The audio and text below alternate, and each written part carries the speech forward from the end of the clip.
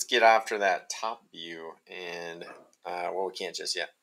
We need some guidelines. So I'm going to use a tool right now. It's called offset. And if I push O well, I gotta push O while I'm on the program. And look it says AM offset. That's the one I want.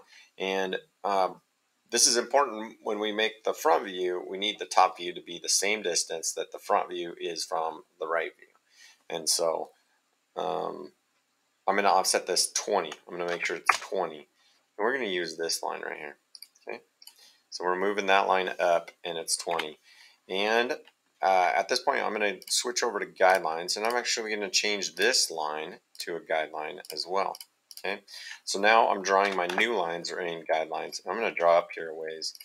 And uh, notice, again, I said I was going to go faster, but I will draw one of those again. If I have my line tool, right? I'll just do the whole thing again. If I have my line tool and I push space L and I'm on the endpoint, I draw up a ways and then I push space to end it and push space to start the next one, right? And then I can click there and good to go on that. Another new tool that I use often inside here is the extend tool. I want this line to be out to there.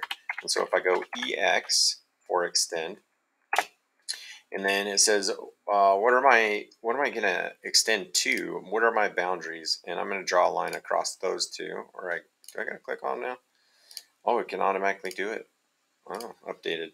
And so it, it just jumped out to the line that I needed. Okay. So now that we've got our guidelines um, going here a little bit, we can start carrying them up. And so um, just anywhere there is an intersection, I'm going to draw a line up. Okay, and my perpendicular is on for my object snap, and so I can just click right to it. Okay, and this is going to get messy, but that's fine. Uh, we're going to utilize these lines to help us draw the remainder of the top. So this one's all about guidelines. Okay, so there it is, the new tools we used. Offset, O, and I can set a distance. I said 20 and we're going to need it later. So offset 20 and we can offset this. That's where the other side's going to be. We'll do that again later. And then uh, the other tool I used was extend. And if I have a line, right, and I need to extend some lines to it, I can click on those and they will jump up to that said line.